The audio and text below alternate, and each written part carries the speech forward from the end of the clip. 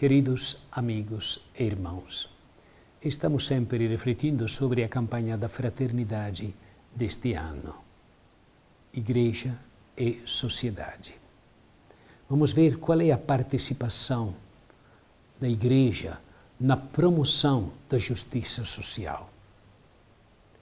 A Igreja compreende a participação na vida social como um empenho voluntário e generoso da pessoa nas questões sociais.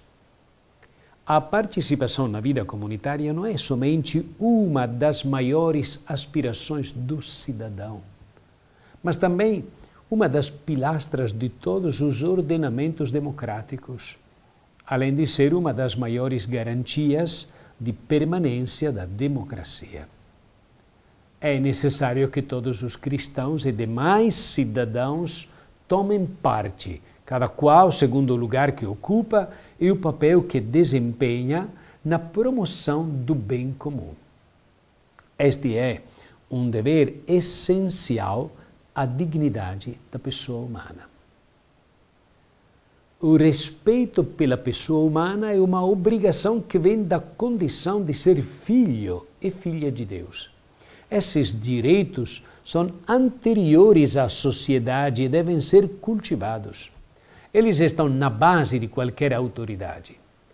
Quando a autoridade política os despreza ou se recusa a reconhecê-los na sua lei pública, uma sociedade atenta contra a sua própria força moral.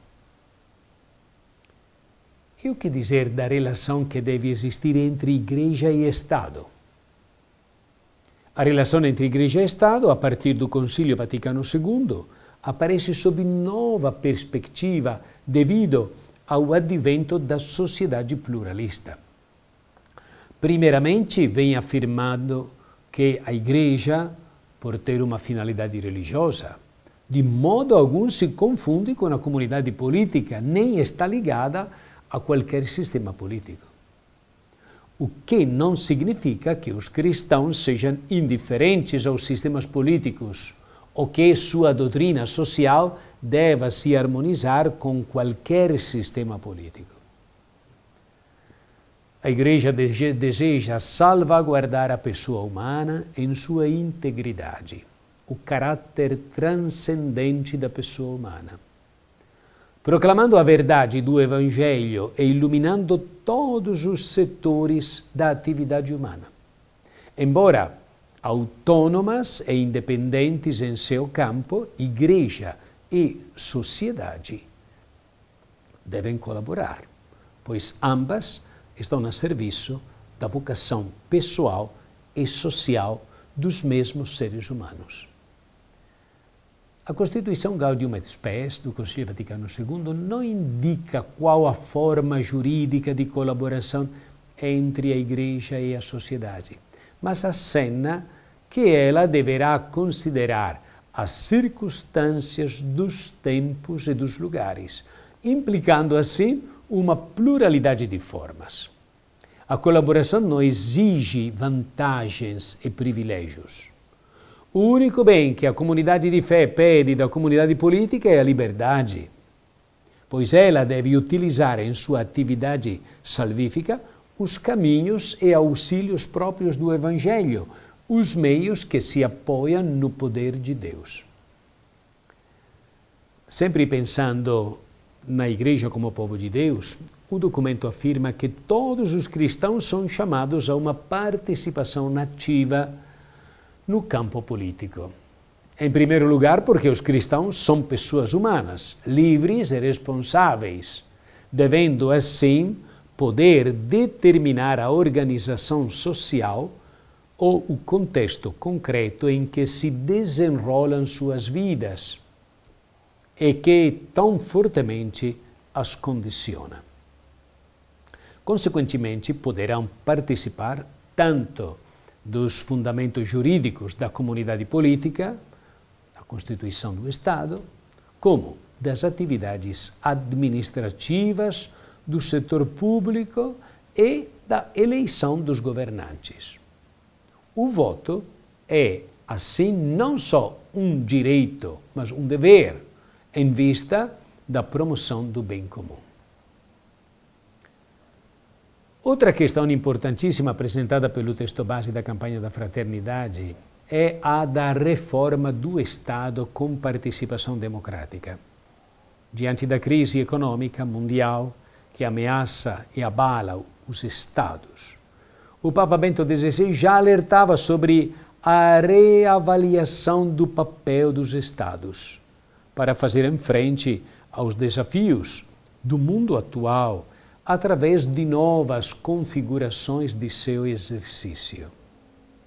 E ele fazia referência à necessidade de uma função mais bem calibrada dos poderes públicos, bem como de novas formas de participação na política nacional e internacional, através da ação de organizações civis e de uma consciência maior e participação dos próprios cidadãos. A Igreja, dizia o Papa Bento XVI, encarna com simpatia o sistema da democracia, enquanto este modelo favorece a participação dos cidadãos nas opções políticas e garante aos governados a possibilidade de escolher e controlar os próprios governantes ou até mesmo substituí-los pacificamente quando se torne oportuno. Os bispos do Brasil propõem a democracia participativa como um necessário complemento à democracia representativa. Assim, será possível ultrapassar o individualismo e tomar o rumo da solidariedade, conscientizando os cidadãos respeitando sua autonomia e chamando-os a contribuir para a construção do bem comum. Conscientes disso, a Igreja atua em favor de tudo o que eleva a dignidade humana, consolida a coesão social e confere sentido à atividade humana.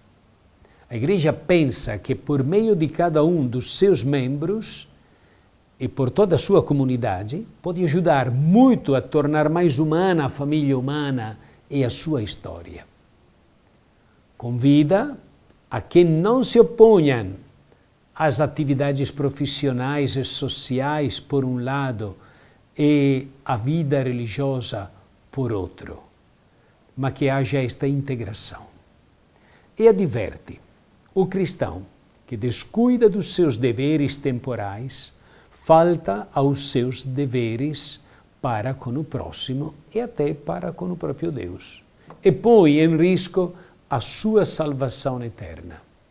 E aqui vem outro critério fundamental para a sua atuação, que é a atenção aos pobres e sofredores, aquelas periferias existenciais como as denomina o Papa Francisco.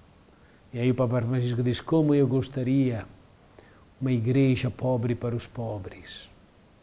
É, disse ele aos jornalistas logo depois de sua eleição como bispo de Roma. E na homilia que pronunciou na ilha de Lampedusa, a ilha dos náufragos prófugos, mencionando a tragédia da morte dos pobres, ele recordava que quando não estamos atentos ao mundo em que vivemos, nós ficamos desorientados, envolvidos pela cultura do bem-estar que leva à globalização da indiferença. Habituamos-nos assim ao sofrimento do outro, é, pensando que isso não diz respeito a nós, que não nos interessa que não é responsabilidade nossa. Deus nos ajude a tomar consciência da responsabilidade que temos com todos. E a sermos não só bons cristãos, mas sermos bons cristãos porque somos bons cidadãos. Deus abençoe a todos. Em nome do Pai, e do Filho, e do Espírito Santo. Amém.